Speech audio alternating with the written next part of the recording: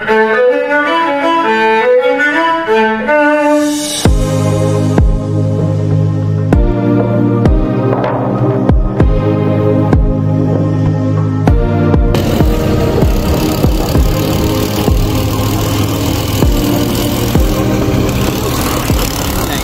theory is that everywhere else in Ghana is better than Accra. I don't think so. I think so. Except maybe Tamale is better than Accra. Kumasi is better than Accra. Takoradi was better than Accra. Accra there. So now where else is not better than Accra? Red top. Shut up.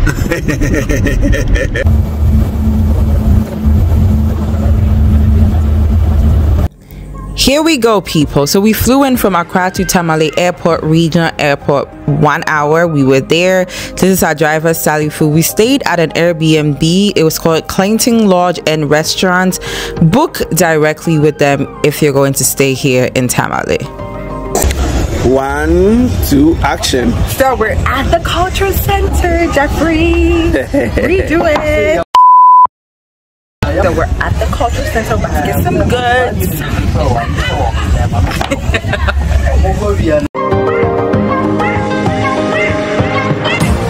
Please convince this is ivory, but I don't think so.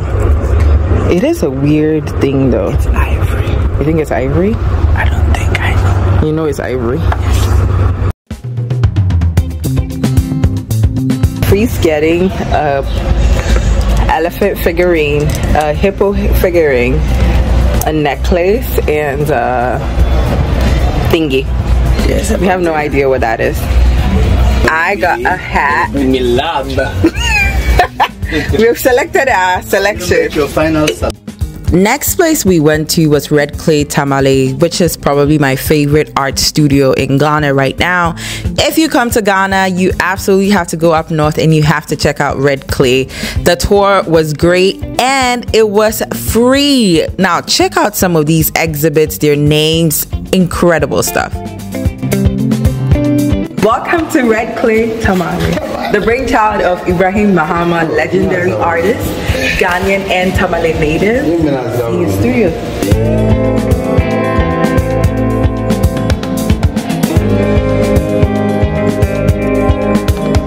some from uh, the collapse factories that you know Africa here when they went to do renovation when Nkrumah came he created many factories in Ghana. So through that factories now is not existing but if you want to if they want to do renovation they will take out of the doors windows and then the, uh, wardrobes inside whether they will throw it away or they will start burning it so they will burn everything. He observed that when they continue burning uh, objectives like this, windows and then tables, uh, it is.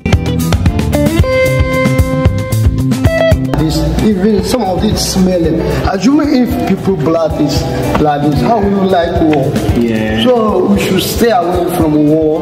War is not something that will help us or to help anybody in, in the future.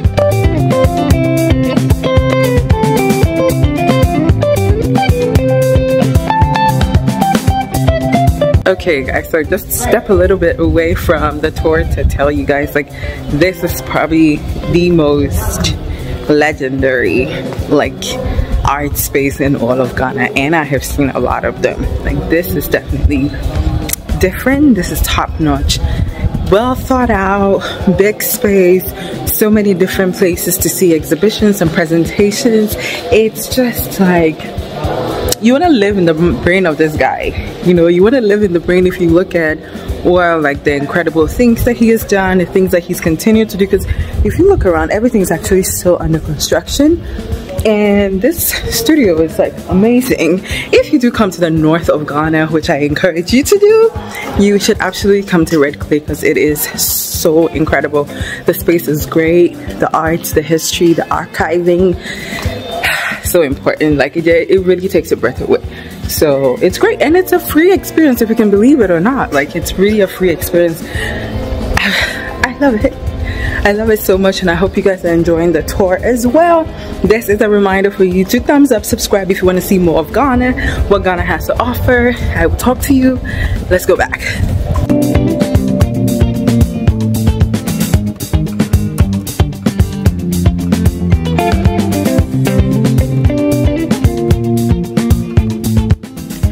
After the day's tours, we decided to go to a restaurant called Wooden.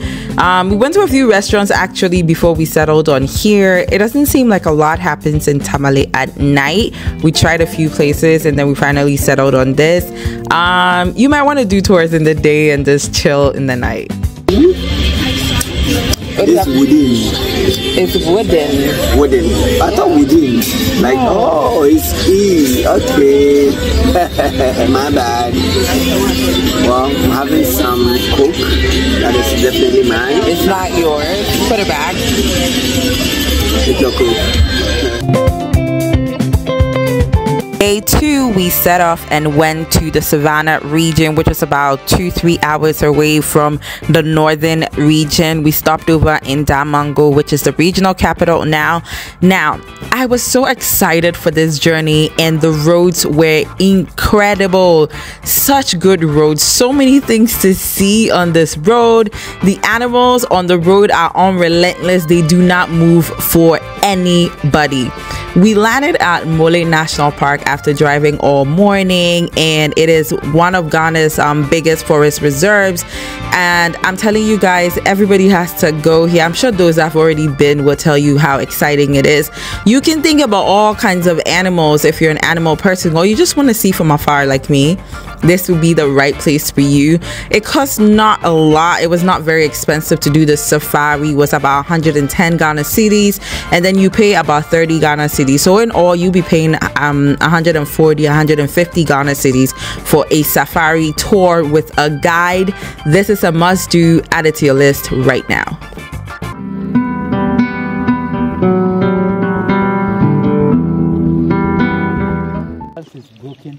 one more through- steps yeah, towards us i'm running away or through breaking down trees sometimes. oh will it grow back Breaking down trees. Yes.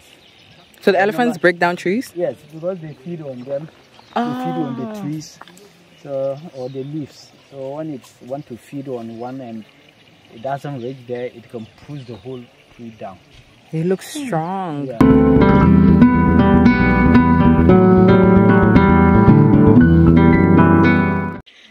Okay, this guy is like looking.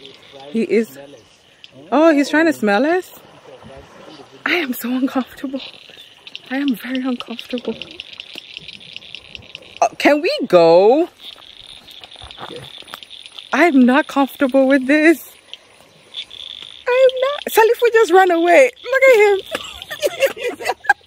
I would say this was kind of a really small time safari. As in, we're in and out in maybe like two hours tops. It was kind of nerve wracking. I'm not gonna lie. I'm not an adventure person, even though if you look on this page, you might think I am. So it was really interesting to see. Way back from Mole National Park, maybe 10 minutes is the town of Larabanga. Now, Larabanga hosts um, the most popular mosque in Ghana. It is also the oldest mosque in Ghana. It is estimated to be about 600 years old.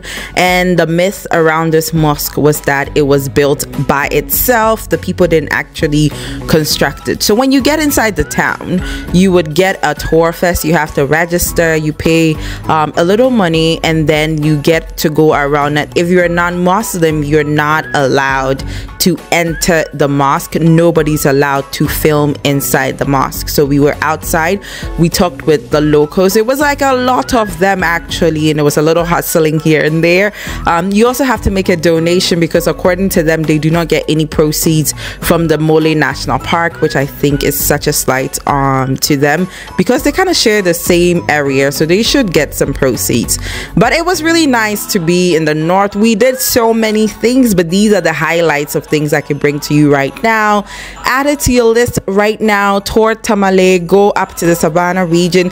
There's so many other touristy places that you could go to, or if you can just, you know, stay here for a bit longer, I'm sure it's a place for you to love. Make sure you leave Accra when you come to Ghana. I'll see you guys in my next video.